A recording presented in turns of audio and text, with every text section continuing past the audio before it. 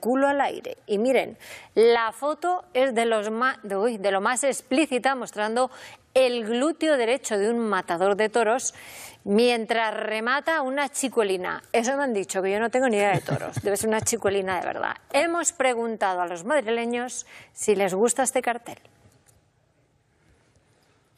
Aún no ha arrancado San Isidro y ya hay polémica encima de la mesa.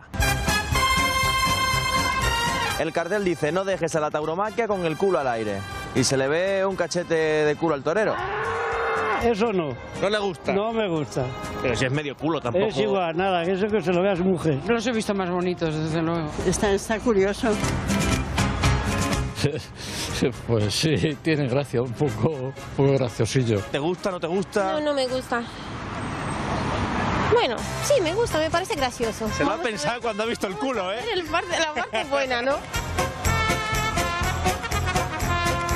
Es que se le ve el culo al hombre. ¿Qué es eso de mira a mí como si iba desnudo? Me es igual. ¿Y la foto del torero por detrás?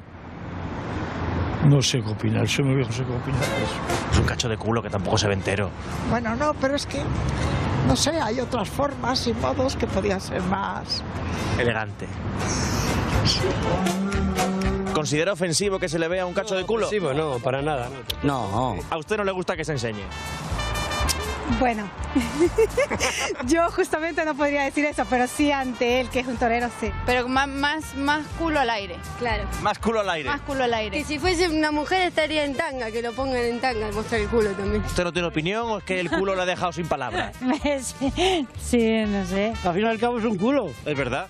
Que es igual que sea de mujer que sea de hombre. Y culo todos tenemos el nuestro. Exactamente. Hay gente que dice que puede ser un poco polémico. No sé a usted qué le parece. No, polémico, ¿por qué? No. Ha sufrido un puntazo, un golpe o algo y le ha rajado la talerilla y ya está, no pasa nada.